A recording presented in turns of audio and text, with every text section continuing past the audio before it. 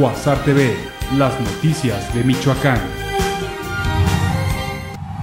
En lo que va del 2015, la afluencia turística a nivel nacional creció en un 10% con relación al año pasado. Se prevé una llegada de más de 30 millones de paseantes, indicó Rafael García González, presidente de la Asociación Mexicana de Hoteles y Moteles. Estados Unidos está viniendo más que nunca, los norteamericanos, son el país que más nos visita y está batiendo todos los récords el número de visitantes que está viniendo a México. Reconoció que toma de carreteras, acciones realizadas por normalistas sí afectan la imagen de estados como Michoacán y Guerrero. Con información de Manda Bautista Informa, Cuasar TV. A pesar de las carencias económicas en infraestructura y de personal, el Hospital Civil de Morelia llegó a su 114 aniversario fortalecido, destacó Jesús Villagrán Uribe, director del nosocomio. Se han, superado obstáculos difíciles, como el desconocimiento, la escasez de recursos, la disminución del abasto de medicamentos. Hemos padecido con el suministro de alimentos, problemas de los cuales invariablemente se ha salido al paso con renovados bríos. Villagrán Uribe coincidió con el secretario de Salud estatal Carlos Aranza Donis, reconociendo que este hospital del siglo pasado se encuentra en su mejor momento con la disposición de recursos en tiempo y forma, mismos que en otras administraciones no eran entregados a tiempo. Con información de Sandra Sáenz Informa, Cuasar TV. A pesar de que en varias ocasiones los cuerpos de auxilio han reconocido la falta de ambulancias en Michoacán, el secretario de Salud en el estado, Carlos Aranza Donis, negó que existe esta situación y recalcó que la única problemática es la falta de coordinación para atender los servicios de emergencia. Eh, al respecto, no es que hagan falta de ambulancias, yo creo que lo que se tiene que hacer es una eficientizar mejor el sistema de reporte de las mismas. Luego de la polémica que se ha generado en la entidad por la muerte en días pasados de una persona que solicitó una ambulancia cuando comenzó a sentirse mal y murió media hora después sin que llegara a la unidad, Carlos Aranza reconoció, dijo que se debe investigar y deslindar responsabilidades. Con información de Sandra Sainz Informa, Cuasar TV. Elementos de la Policía Federal detuvieron en Morelia a cinco personas en posesión de más de 800 litros de gasolina, al parecer de procedencia ilícita.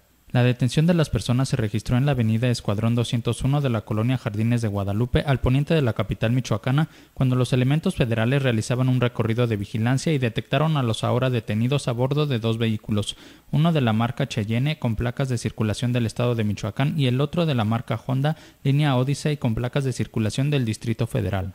Al notar la presencia de los uniformados, las cinco personas mostraron un marcado nerviosismo, por lo que los federales procedieron a realizar una inspección de rutina, localizando en el interior de la unidad cuatro tambos de plástico con capacidad para 200 litros cada uno llenos de gasolina, de los cuales no pudieron acreditar su legal posición y procedencia. Con información de Sandra Sainz Informa, Cuasar TV.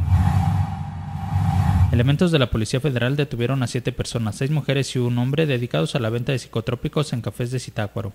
En respuesta a varias denuncias anónimas, los policías federales acudieron a tres cafeterías ubicadas en el libramiento Francisco J. Mújica de la colonia del Polvorín y la carretera Zitácuaro-Toluca perteneciente al municipio de Zitácuaro, donde aseguraron a seis mujeres y un hombre en posesión de 266 cápsulas y pastillas psicotrópicas con las leyendas Oveclors y Redicres. Durante las indagatorias se logró determinar que los requeridos se dedicaban a la venta de psicotrópicos a clientes de los cafés, por lo que fueron puestos a disposición de la PGR, en donde el fiscal determinará su situación jurídica como probables responsables de la Comisión de Delitos contra la Salud. Con información de Sandra Sainz Informa, Cuasar TV. Elementos de la Policía Federal decomisaron 6 kilos de marihuana que eran transportados en un portaequipajes de un autobús sobre la autopista de Occidente en Michoacán. Los hechos se registraron en el kilómetro 2012-250 a la altura de la caseta de Sinapecuaro, donde los policías federales, al realizar operativos de vigilancia, le marcaron el alto a un autobús para una inspección de rutina, localizando en el portaequipaje 6 kilos 100 gramos de marihuana distribuida en 10 paquetes confeccionados con cinta canela.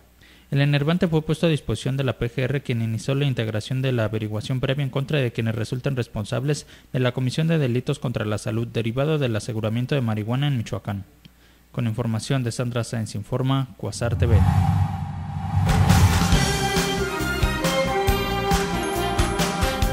Cuasar TV, las noticias de Michoacán.